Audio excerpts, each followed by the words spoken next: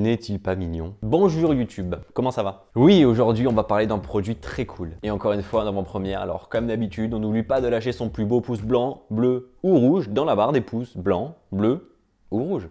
On connaissait celui-ci, le HomePod classique Eh bien, je vous présente désormais son petit, tout petit frère même, le HomePod mini. Ça fait plus de deux semaines que je m'amuse avec le HomePod mini chez moi. Il est donc temps désormais de vous faire mon test complet de ce nouveau produit, cette enceinte connectée qui vaut 99 euros. Le HomePod mini reprend toutes les bases du HomePod, mais dans un format deux fois plus petit en taille, mais surtout beaucoup moins large, parce que à peu près sa circonférence fait la taille du plastique blanc qu'on a au-dessus du HomePod, donc c'est vraiment tout petit. Mais c'est surtout très léger, 345 grammes contre 2,5 kg pour le HomePod il n'y a rien à voir. Et honnêtement, je trouve que ce petit produit est super joli. On dirait un petit bougeoir, un tout petit pot de fleurs. C'est très mignon, c'est très beau et ça se fond dans n'importe quel intérieur. Il est d'ailleurs toujours dans le même tissu mèche que le premier HomePod, dans deux coloris, noir ou blanc. Moi, j'ai décidé de prendre du blanc parce que j'ai des HomePod blancs et que ça se marie mieux dans mon intérieur. Et le produit n'a pas de batterie, donc il est obligatoirement nécessaire de le brancher au courant pour qu'il fonctionne. Un câble est donc lié au HomePod, câble tressé, messieurs dames, qui se finit non pas comme le HomePod classique avec la prise d'un pays, par exemple la France, mais il finira en USB-C, ce qui signifie qu'on doit lui rajouter un petit chargeur de 20 watts qui est bien entendu fourni dans la boîte pour pouvoir le connecter un peu partout.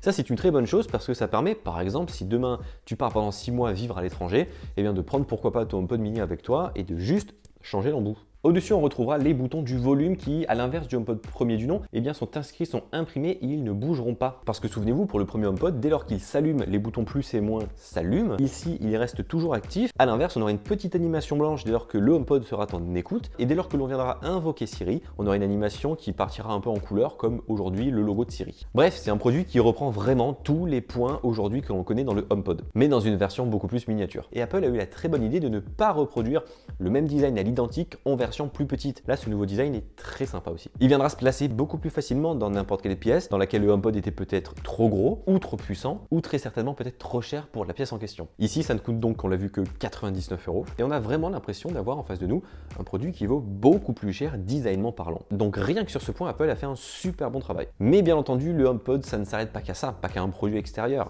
C'est également une enceinte, ce petit produit. Taille oblige, on ne pourra pas avoir autant de technologie embarquée que le gros HomePod et ça c'est clair, net et précis. Toutefois, ça ne veut pas dire que le son est beaucoup moins puissant, on va tester ça. Là où sur le HomePod classique, on avait un boomer au-dessus pour des basses bien profondes, avec 6 micros tout autour pour capter la voix de l'utilisateur qui viendra lui poser une question, mais aussi et surtout 7 tweeters placés en dessous à 360 degrés pour propulser les basses vers l'extérieur et pour qu'elles puissent se réfléchir sur les murs. Et bien pour le HomePod mini, ce sera un peu différent parce que oui, la taille est quand même bien plus petite. On retrouvera donc un gros driver au centre du produit pour propulser des basses profondes et cristallines. Il y aura également deux radiateurs passifs sur les côtés pour justement pousser ces fameuses basses, 4 micros à l'intérieur, à l'inverse de 6 micros comme le HomePod classique, et enfin la partie en bas du produit qui sera là pour propulser le son vers la surface sur laquelle il est posé pour que ça puisse se réfléchir et donc se propulser dans la pièce. Bref, on le voit, le HomePod mini ne lésigne pas du tout sur les technologies embarquées. Après, qu'est-ce que ça vaut dans les faits? Malheureusement pour vous, il ne sera pas possible de vous déplacer en Apple Store pour tester le HomePod mini, hashtag confinement. Donc je vais faire quelque chose que je fais habituellement pas dans des vidéos, c'est vous faire écouter le son du HomePod mini comparé au son du HomePod classique pour que vous essayiez un peu eh bien, de faire votre propre avis, même si on le sait, en réalité, ce ne sera pas exactement pareil de ce que vous allez voir dans cette vidéo. Par exemple, voici le HomePod mini configuré à 50% comparé à un HomePod classique configuré lui aussi à 50%.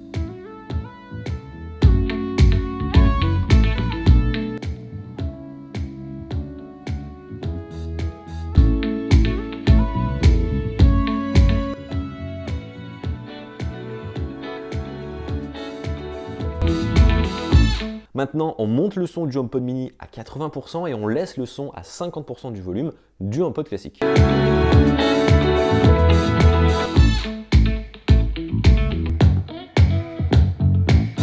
Donc on le voit, le HomePod mini est largement moins puissant, profond que le HomePod classique, et en soi c'est normal, il n'y a pas du tout la même caisse de résonance et la même taille, c'est clair. Le HomePod mini offrira moins de coffres et enverra moins les basses dans la pièce. Simplement, moi je trouve qu'il restitue vraiment bien le son qu'on écoute. Alors en vidéo, encore une fois, vous n'aurez pas le même ressenti et la même écoute que moi j'ai ici dans cette pièce, mais honnêtement, je suis très agréablement surpris par ce produit.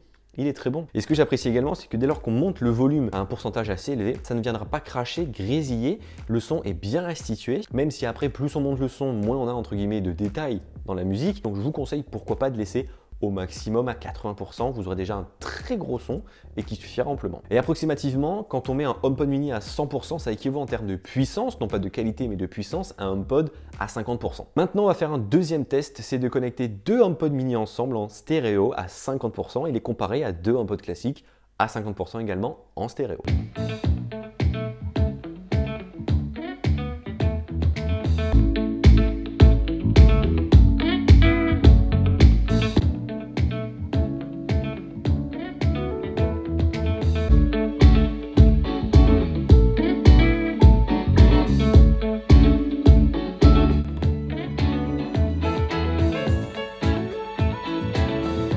Chose à savoir pour ceux qui pourraient se poser la question, il ne sera pas possible de connecter un HomePod mini et un HomePod classique en stéréo parce qu'ils n'ont pas les mêmes puissances, donc ce serait pas possible en soi de connecter les deux ensemble. Le HomePod mini serait bien plus limité. En stéréo, par exemple, sur cette musique, comme sur d'autres, on n'aura pas la même musique dupliquée sur les deux produits. Ça, c'est simplement du multi-room. On aura certaines parties musicales d'un côté, d'autres voix, d'autres instruments sur l'autre. Il va y avoir directement un échange entre les deux HomePod. C'est hyper agréable à écouter et franchement, je pense que vous avez déjà testé du stéréo. C'est un peu comme au cinéma. Le son se balade, c'est génial. Le son est plus profond en stéréo que quand on a un seul HomePod, en même temps c'est normal. Et par exemple, si on configure deux HomePod mini à peu près à 50% du volume, ça équivaut à peu près à un HomePod mini à 80% du volume. Donc côté sonore, le HomePod mini remplit également super bien son job. Alors oui, on n'a pas une enceinte aussi puissante et d'aussi bonne qualité que le HomePod classique, mais c'est peut-être pas son but premier. Mhm. Parce que à mon avis, le but premier du HomePod mini ne sera pas d'être une enceinte, mais bel et bien un objet connecté qui embarque Siri pour gérer sa maison connectée via Apple HomeKit. Et il vous suffira de dire la fameuse phrase d'Ipastec, oui j'ai pas dit la vraie parce que tout simplement tout se serait lancé, afin de lui poser tout et n'importe quoi comme question, que ce soit des questions d'ordre culture générale,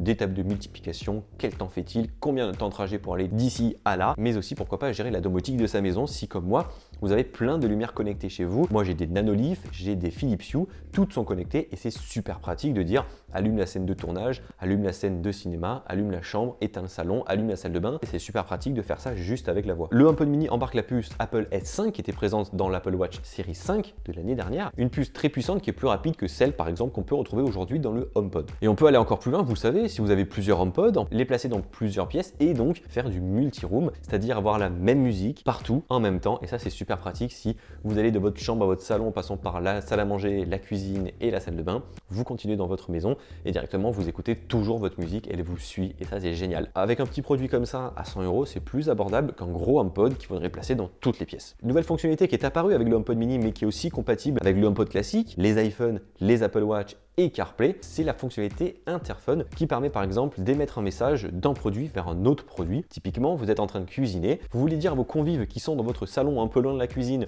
ou à vos enfants qui sont à l'étage que le dîner est prêt, au lieu de crier dans toute la maison, vous avez simplement à parler à votre HomePod qui est proche de vous, lui dire de communiquer votre message dans le salon, à l'étage, sur tous les haut-parleurs, ou sur un iPhone en particulier, ou un iPad en particulier, et Siri va directement enregistrer votre voix et les mettre dans la pièce en question ou sur le HomePod en question. Je trouve ça très génial.